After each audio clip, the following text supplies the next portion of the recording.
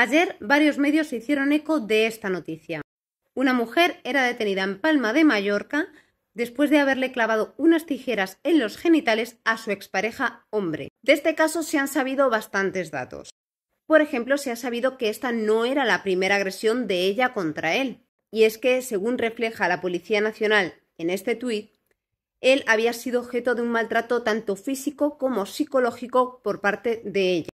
Había recibido insultos, amenazas, manotazos, puñetazos, arañazos y mordiscos. De hecho, vivía aterrorizado por ella, y ese terror era diario y continuo porque ambos compartían piso. De hecho, se ha sabido que él cerraba con llave su puerta por las noches porque tenía miedo de que ella le agrediese mientras dormía. Vamos, que la mujer era todo un angelito. Y ha habido varias cosas que me han llamado la atención de esta noticia y sobre todo de las reacciones que ha habido en redes sociales. Para empezar, porque ha habido muchas bromas. Porque ya sabemos, cuando la víctima es un hombre se puede hacer broma. Lo segundo que me ha llamado la atención ha sido un tuit de una persona que ha dicho que esta noticia le fastidiaba no por el hecho de que se hubiese cometido una agresión, sino porque esta agresión daba la razón a la derecha.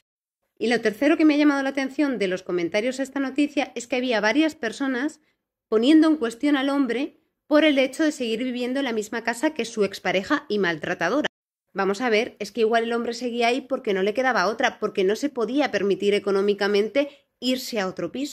Es que hay que tener en cuenta además que este hombre, aunque había denunciado el maltrato que sufría, no tenía acceso a ninguna de las ayudas a las que sí tienen acceso las mujeres que denuncian por maltrato.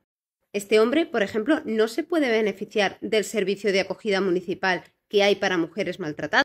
¿Y por qué no se puede beneficiar? ¿Porque no lo necesite? ¿Porque no sea una persona maltratada? No. No se puede beneficiar porque es hombre. Y ya está. Y no sé a vosotros, pero a mí eso no me suena precisamente a privilegio, sino más bien a injusticia y discriminación.